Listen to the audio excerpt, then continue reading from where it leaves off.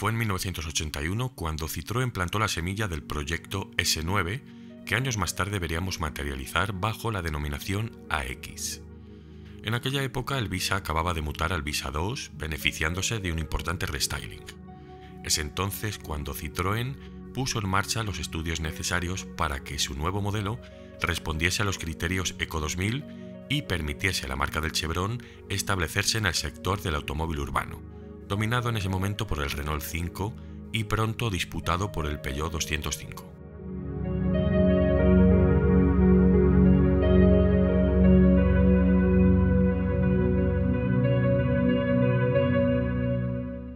Hasta bien entrado el nuevo milenio, los fans de Citroën no recordaban cuál había sido la última victoria de la firma en un circuito cerrado. Os lo digo yo, fue durante el otoño de 1988 cuando Jean-Pierre Jéré pilotaba una X altamente sobrealimentado por el autódromo de Albi, cerca de Toulouse. Aquel pequeño vehículo habría sufrido una de las transformaciones más radicales y sorprendentes de los últimos tiempos. Podría decirse incluso que más extravagante aún que los controvertidos Grupo B ya extintos. En aquel momento el modelo ya tenía poco ADN original de AX, quizás solo algunos vestigios de su aspecto original Ahora lo puntualizaré y tengo que deciros que declarando 480 caballos al tren delantero, tenéis que imaginaros el trabajo técnico que había detrás de esto. En este punto hemos podido ver durante los últimos vídeos la gran trascendencia que tuvo en todas las categorías del motorsport la abolición del Grupo B. Ahora es necesario volver a puntualizarlo, ya que mientras que Peugeot se había mudado a las dunas del desierto y a la gran montaña de Colorado, por supuesto, Citroën decide comenzar a hacer incursiones por los circuitos cerrados. Esta diversidad adoptada por PSA le permitía una gran presencia en todas las áreas, la diseminación de todos los equipos oficiales y el reciclaje de toda la tecnología de competición que habían estado generando en los últimos años y que ahora estaba huérfana. Citroën era consciente del fracaso del BX4TC Grupo B en los rallies. Esto se justificó básicamente por razones financieras, pero Guy Berrier que era el responsable del departamento de competición, estaba decidido a elevar la imagen de la firma mediante una ambiciosa intervención en las carreras de élite. Y además mataría dos pájaros de un tiro porque quería borrar así de la memoria del espectador la pésima actuación de aquellos incomprendidos BX Grupo B.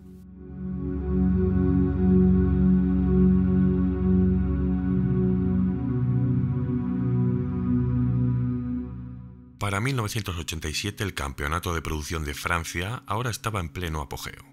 La llegada de nuevos constructores a la serie y equipos semioficiales, poniendo en la pista los Peugeot 505, los Audi 84 o los Renault 21 Turbo, comenzó a llenar las gradas cada fin de semana. Y por si fuera poco, temporada tras temporada, el reglamento se esculpía de una manera cada vez más liberal para los vehículos, convirtiéndoles más en prototipos que en unidades derivadas de producción. Sin embargo, esta serie tenía un hándicap. A pesar de contar con grandes promotores y nombres importantes implicados, en un intento de convertir los coches en máquinas cada vez más competitivas, el permisivo reglamento se convirtió en un arma de doble filo.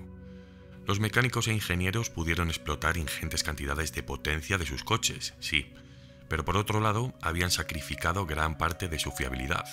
Este era uno de los lastres de la serie en este momento, la escasa durabilidad de los vehículos participantes. Dicho esto, Citroën Sport comenzó a realizar algunas entradas por los circuitos galos con dos chasis AX Turbo destinados a Carol Bergnew y Jean-Pierre Jéré. Sin embargo, la financiación de la temporada se realizó mediante los distribuidores y concesionarios y no a través de la división deportiva de la marca, como era habitual. Además, estos chasis de competición fueron ensamblados todos por la empresa Danielson, entonces dirigida por Joseph Lebris. A diferencia de la mayoría de marcas que ponían sobre la pista berlinas de amplia capacidad, Citroën decidió utilizar el AX porque en ese momento no tenía ningún modelo reciente de esa gama. Recordemos que el BX nació en 1982, aunque más tarde sí que adoptaría su propio papel en el campeonato nacional. Dicho esto, Citroën quería dar soporte a sus nuevos modelos y el AX era el más fresco de todo su catálogo. Además, sí que era todo un desafío lograr el triunfo con un vehículo tan pequeño.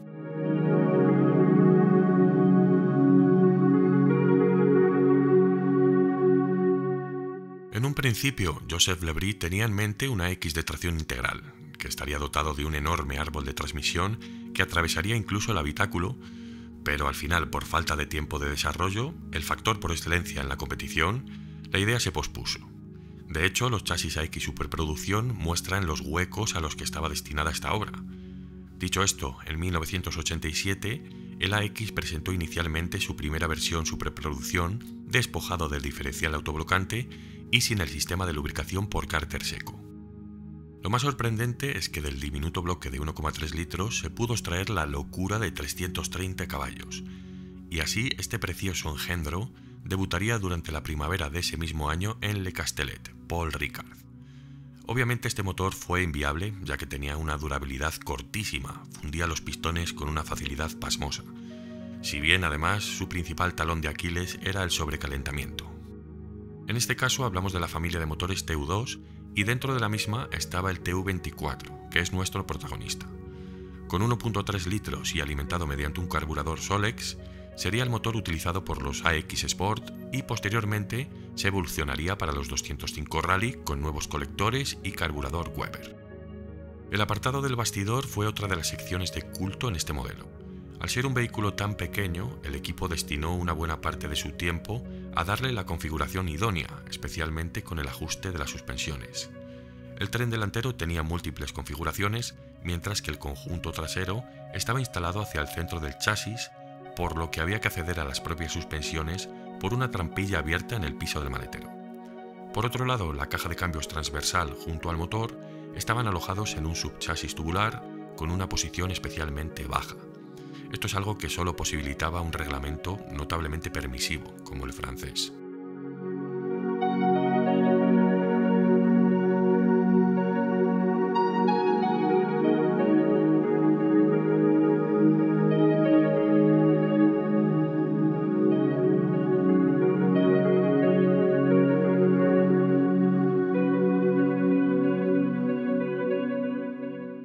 Al final, a duras penas, toda la temporada 87 fue afrontada con el motor de 1.3 litros.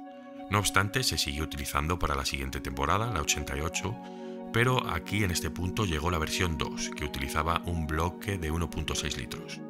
Ahora hablamos del motor XU5 de carrera corta, producido en la planta de Tremery.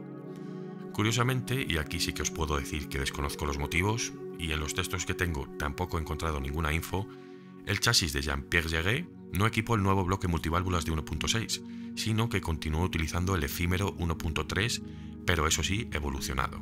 Únicamente Carol Bergnew estaría a cargo del nuevo motor. La temporada 88 mostró algunas pinceladas decentes. Bergnew había ocupado el cuarto puesto en Nogaro, pero Llegué se vio obligado a retirarse con la caja de cambio rota. Las buenas sensaciones mostradas por parte del chasis de 1.6 litros y 16 válvulas animaron a Danielson a realizar otra suma de inversiones atajando en este caso algunas mejoras en las transmisiones, la dirección asistida y los motores rebajados. El 1.3 ahora también presentaba mejoras sustanciales, alcanzando los 370 caballos nada menos, con una presión máxima de sobrealimentación de 2,7 bares para un peso de tan solo 800 kilos. Esto a bote pronto son cifras realmente reveladoras. Pero en esta versión primera seguían siendo insuficientes contra los Renault, por ejemplo, así que imaginaros el nivel la versión de 1,6 litros presentó una arquitectura notoriamente más efectiva. La refrigeración fue el punto más reforzado, invirtiendo la posición de los colectores en favor de las canalizaciones de aire y adoptando el uso de radiadores mucho más grandes.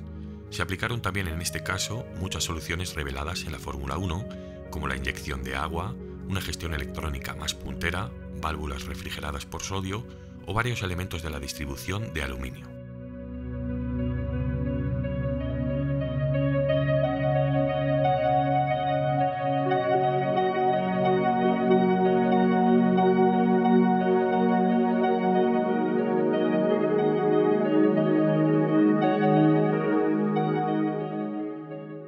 Insistir el trabajo realizado con las suspensiones, y es que tratar de crear un comportamiento factible para un conjunto que ahora entregaba 470 caballos a las ruedas delanteras no era cosa de dos días.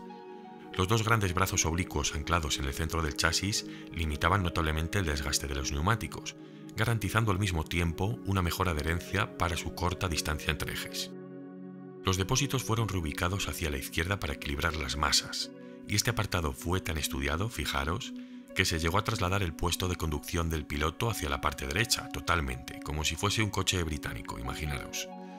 Esto hizo que presentase un equilibrio casi ideal, y al final se había llegado al tal punto en el que el portón trasero era prácticamente la única pieza original que se conservaba de la X de fábrica.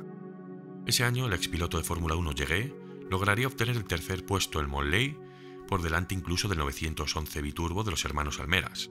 Después, en Go, el piloto Jean-Pierre Beltoise también haría una aparición logrando un segundo puesto. A finales de octubre terminaría la temporada 1988. Y ahora el BX 4x4 resurgiría para ocupar la plaza de la X en el Campeonato Superproducción de 1989.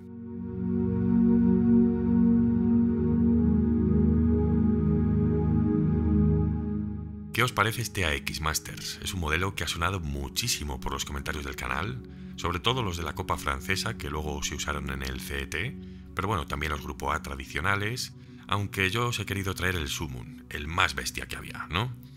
Por supuesto, el resto también tendrá cabida en el canal, y no sé por qué, no sé, pero me han entrado unas ganas increíbles de hacer algo relacionado con el Visa Lotus o el Mil Pistas, no sé, algo del Visa. Lo dejo ahí.